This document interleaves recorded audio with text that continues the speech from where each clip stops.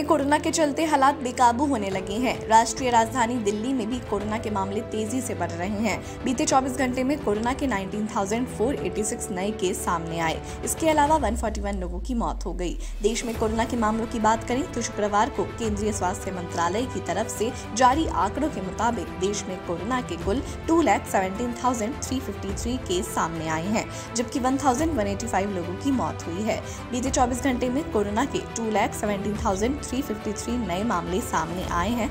वहीं इसी अवधि में कुल 1185 लोगों की मौत हुई है।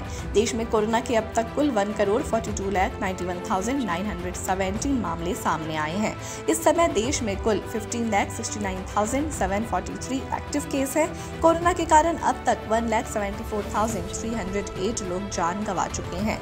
कनॉट प्लेस में पसरा सन्नाटा। राजधानी दिल्ली में कोरोना के बढ़ते मामलों के बीच आज से वीकेंड लॉकडाउन की शुरुआत हो चुकी है। सुबह से ही दिल्ली का दिल कहे जाने वाले कनॉट प्लेस में सन्नाटा पसरा हुआ है।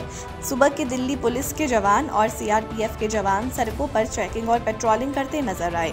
अमूमन वीकेंड के दो दिन कनॉट प्लेस में सुबह ही लोगों की अच्छी खासी भीड़ देखने को मिलती थी। लेकिन वीकेंड लॉकडाउन के चलते कनॉट प्लेस में सुबह के वक्त सड़कें खाली नज़र आईं। सरकार की ओर से जारी किए गए आदेश में ज़रूरी सेवाओं से जुड़े लोगों को ही बाहर निकलने की इजाज़त दी गई है। दिल्ली में वीकेंड कर्फ्यू शुरू। कोरोना से बिगड़ते हालात के बीच राजधानी में बीते शुक्रवार से वीकेंड कर्फ्यू की शुरुआत हो चुकी है। ये सोमवार को सुबह छह बजे तक लागू रहेगा।